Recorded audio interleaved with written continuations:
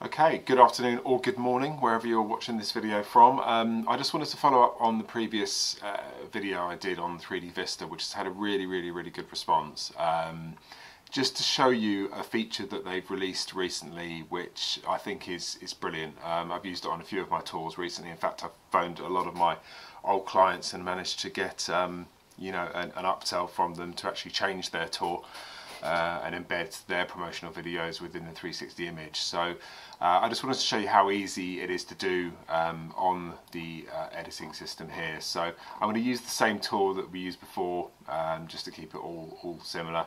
Uh, so all you need to do to do this is come to the top section here to your panoramas and then hotspots and then at the top here you've got the video hotspot. So if I just zoom in we're going to put something on this screen here.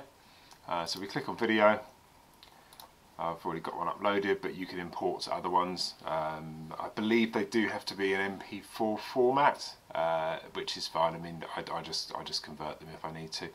So just click select, and then what we want to do is basically choose the area of the screen where it's going to be displaying. So uh, what's good with this is it will actually sort of recognise the area of the screen and bend round, if you can see like so. Uh, now there is a little bit of trial and error with this because what it will do is it needs to actually snap to the uh, proportions of the image. So hoping this one is going to do, it. there we go, that's pretty good. Okay, so that's in. Um, we can sort of fine tune it afterwards, but you can see here, see it's snapping there, so what it will do is it will only snap to certain areas.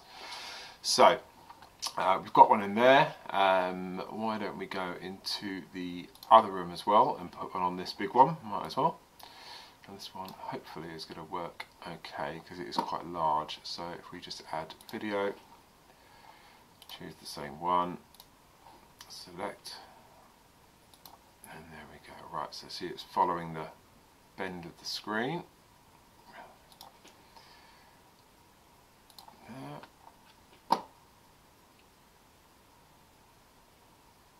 I see now that's snapping out slightly off, so I might need to. I'll just click there for now. Bit of trial and error with it, really. But there we go. That will do, that will do for now. So it gives you gives you an idea. Um, so that's those two done, and then all we do is click preview. And We'll just convert the video. There we go. Oh, apologies. I didn't change one of the settings on there. Sorry. Right, just go back. So what I need to do is come onto here and click, here we go, play on start. Um, show first frame, yes. Play as a loop as well, and we'll change this one as well. Play on start. There we go. Oh, that should have fixed it. Oh, sorry about that. Okay. There we go. All done. I think it looks pretty good. Very good, actually.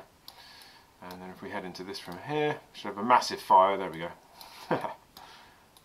pretty amazing. You can see the, from the corner here that there is a bit of adjustment needed, but that's easily easily done. Um, you just need to, to take out the points that you put in before and start in this corner and then just move over or maybe just make it slightly wider. Okay, um, so that's that really. Um, just to uh, let you know again, um, reminder from the last video that I am still offering a 50 euro discount off the pro version of 3D Vista if you did want to get it. Uh, if so, then click uh, on the link in the description below which will take you to my website. Uh, go onto the contact page, just fill out your details and just explain that you're interested in the discount code and I will send you a one-time link uh, which will take 50 euros off the price of 3D Vista Pro. Uh, any questions please leave them in the comments below and uh, yeah take care bye.